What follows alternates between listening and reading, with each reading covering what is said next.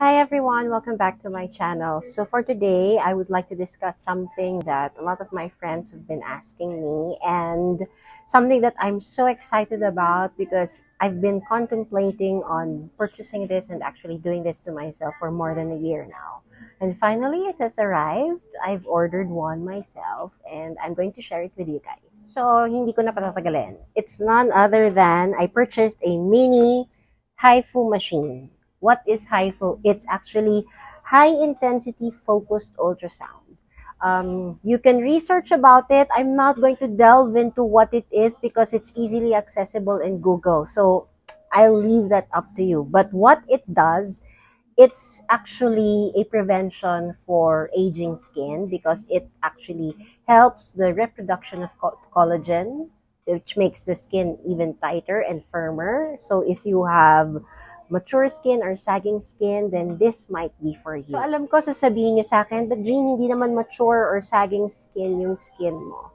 Yes, and I agree that hindi naman ganun kalala yung face, I mean, yung pag-age ng face ko. But the thing is, this is also prevention. So, meaning, nakikita ko na eh, may nakikita na akong konting-konting mga fine lines and then banda rito parang nag, nagsasag na siya ng konti, konting konti. I'll show pictures so that you would understand.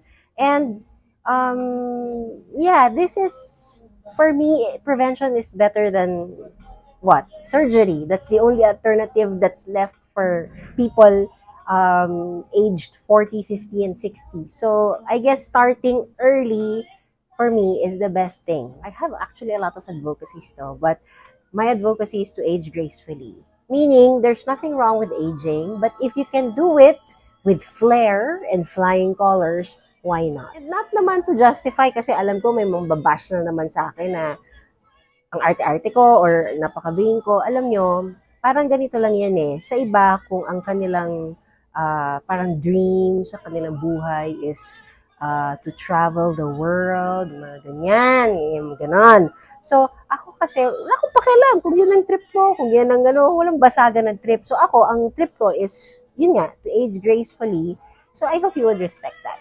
Kasi, kanya-kanya naman yan eh. I mean, it's your choice. If you want to age ng parang losyang ka, it's your right, di ba? Pero ako, this is my choice. So, I'm just sharing to you.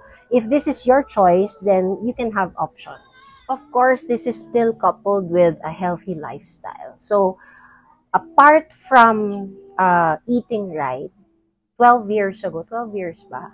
No, 2008, 14 years ago, I quit smoking. I used to be a chain smoker. So, the effects of that is actually immeasurable. Hindi ko na patatagalin pa.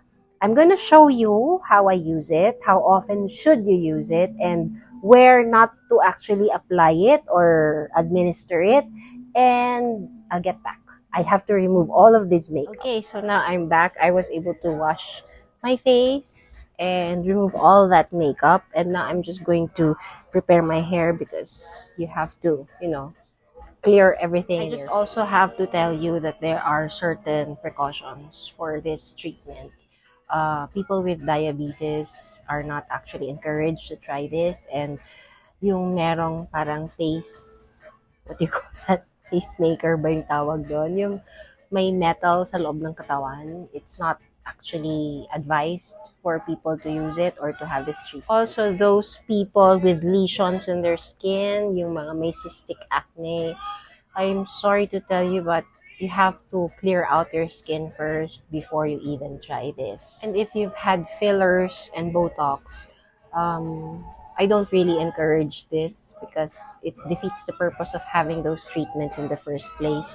So, kung gusto nyong magganito, um, I suggest na ipagpaliban niyo muna yung fillers and Botox and have this first.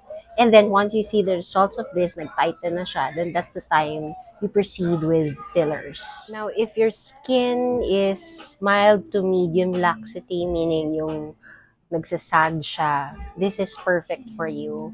Uh, for those na sobra ang nagsasag yung skin, uh, you might wait 12 to 15 sessions before you even see the results. How often should you do this? Um, I don't use the extreme level. This has actually three levels once I'm going to do a demo with you because hindi kaya, hindi ko kaya yung heat, mababa ang tolerance ko sa pain. So you will be also needing a trans ultrasound gel or a trans gel in order for you to use it. This one I purchased in Lazada and it's 80 pesos for every 250 ml of this. So I bought four of this kasi nga dinadamihan ko talaga ito para hindi ko maramdaman yung init, tsaka may mararamdaman ka ng slight pricking. And dun yung malalaman actually if yung nakuha nyo yung haifu, mini haifu is fake or not.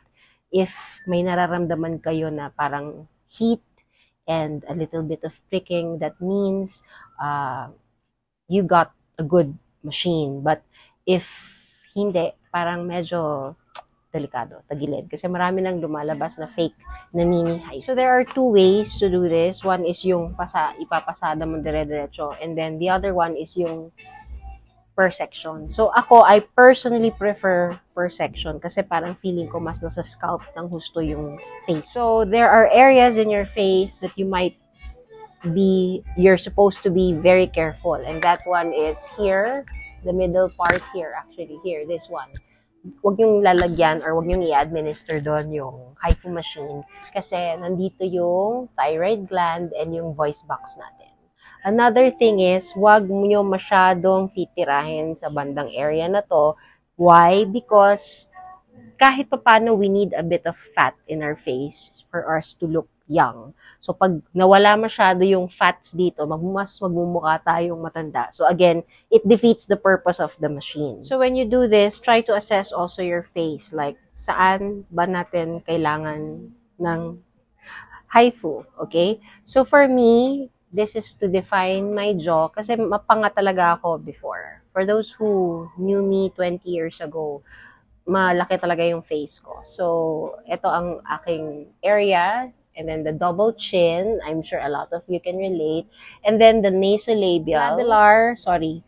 Glabular, hindi masyado pero lalagyan ko rin to kahit pa paano konti. And then sa crow's feet, hindi din masyado but siguro papasadahan ko but not too much. The levels that I'll be using would be level 2 here, level 1 pagdating dito sa my upper cheek marionette folds dito, siguro konti lang kasi I'm starting to have it but it's not that conspicuous.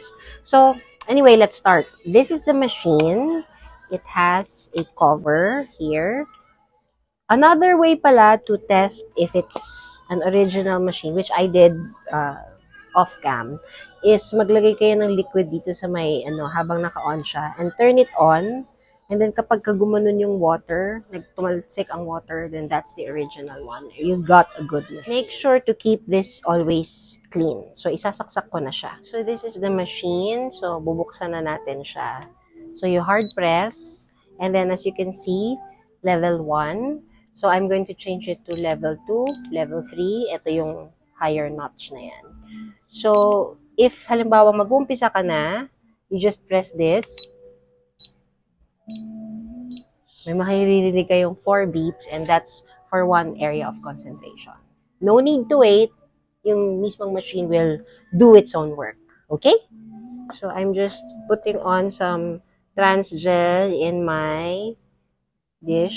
Okay, so, umpisahan natin muna sa neck. I have this uh, parang applicator. And then, I'm going to put it here. So, some kasi gusto nila mag-drawing-drawing pa sa face. Ako, ayoko. So, ayan, dadamihan ko. I'll only place it in air in the area where I will be administering the HIFU machine. And here, half face muna ang gagawin natin. Okay, so I'll turn this on. And then, level 2. Yung iba, kaya nila ng level 3. Ako, hindi. So, I'll start here.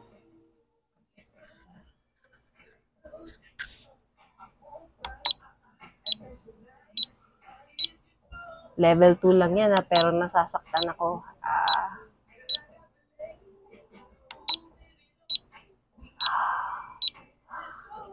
May pricking siya kasi.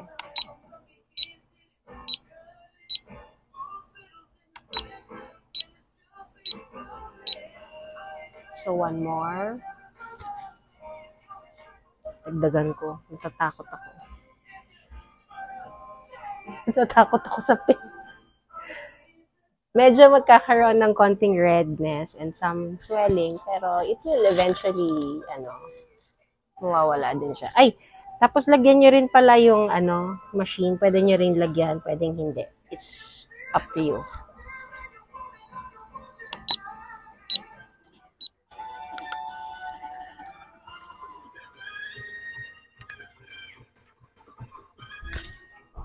Sorry, hindi ko na-play, pero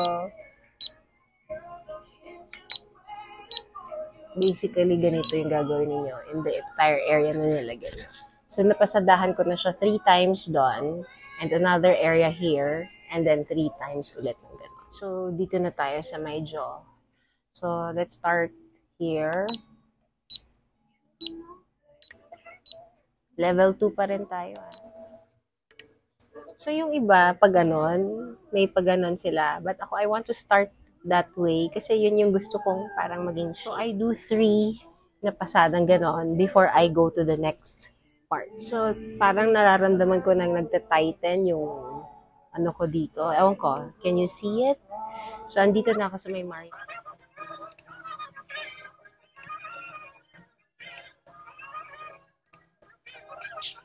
So, dito na tayo sa nasolabial folds. I'm still using level 2. Sabi nila dapat level 3 pero hindi ko kaya talaga. Okay guys, look at this. See this? And here. Kita nyo dito oh. So parang na-lift siya slightly. I don't know if you can see it. Ako, I can see it. Then now let's do upward. So let's start here.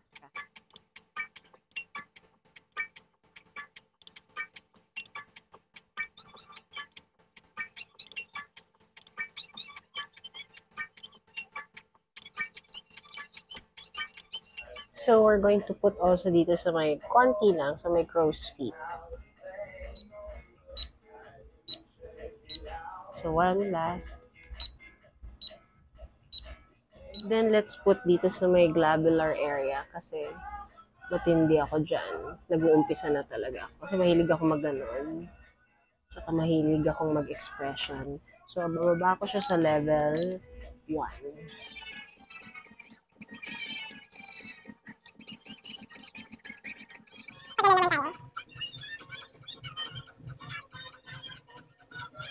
Sa eyebrows para mag-lift.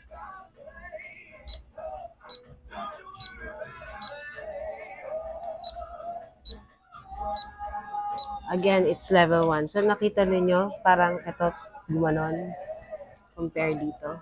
So, this is funny. Nakita nyo, parang umangat yung eye ko dito. And then, ito nagdo-droop pa rin. Again, some may have instant results, yung iba hindi. But, as you can see. Then, another thing is, results you can see magmula ngayon from the first treatment up to 3 to 6 months. So, okay siya, di ba? So, I'm going to do sa eye area dito, which is also level 1. Last pasada ko na to, but can you see the difference here on this side and this side? Grabe. So, level 1. Sa eye bags to, ha? Hindi ka pwede mag more than level 1 dito. Kasi,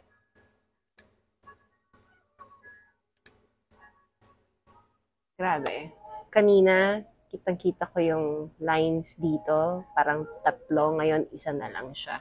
So, I'm so, so I'm going to do all of what I did here in the other side. It usually takes me 30 minutes to do my whole, whole face. So, I'll get back to you when I'm done. So, there, I've finished both sides and I feel that my skin tightened talaga. And um, somehow, nararamdaman mo talaga siya eh.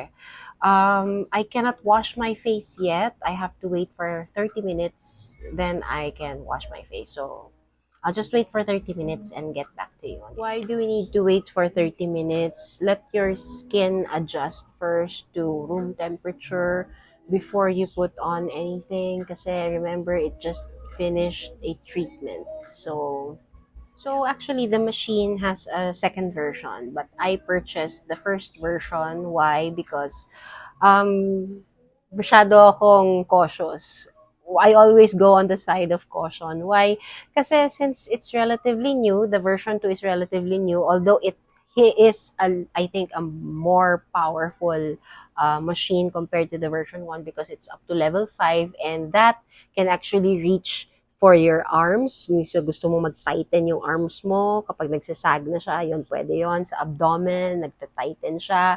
And sa thighs, pwede rin siyang lumiit. So, yun yung maganda dun sa version 2. But, wala pa kasi akong uh, nakikita pang masyadong experiences sa version 2. Baka may, may mga adverse effects pa siya. So, mabuti na yung nandun ako sa side of caution na nag-iingat ako. Kasi syempre, it's a self treatment, so less is more. I actually like my skin right now. Nakakaliit din siya ng pores, aside from nakaka-tighten ng skin, and yeah, it's it's actually the best option and prevention for facelift. And ang gusto ko sa kanya, aside from, yun nga, nakaka-tighten ng ano, nakakapag-shape pa siya ng face. And that's one of the things that I really considered when I purchased this. It's more for anti-aging and aesthetic. So I've already uh, washed my face and um, I can really feel that it's a lot tighter. Medyo, you would also feel pala some pricking. I think I mentioned it earlier. And also, right after, like immediately after, parang you're so tired. As in, siguro first two days, first and second day, medyo you'll feel a bit tired kasi parang nag-workout yung buong face ninyo. Parang ganun yung So, is HIFU for everyone? Um, not really. Um, it's still best if you have it done sa derma or sa doctor because at least they can assess, especially if you have a comorbidity, they can assess if this is really for you or so are we going to offer it in celebrity nails? Uh, we're still thinking about it and we're still in the talks because um, not a lot of people know the mechanics and dynamics of doing face sculpting especially something that's highly technical but I'm just sharing it to you because I want you to see the effects, the immediate effects that it has. Ayan o, oh, so, sobrang ramdam ko na parang lumiit yung face ko and sobrang nag-tighten yung skin ko. Anyway, if you have any questions about this topic, feel free to comment it down below. Research um, as well. Pagka gagamitin nyo to, it's better to be safe than sorry before actually using it. And um, let me know how it goes for you. And I'll see you again in my next vlog. Bye!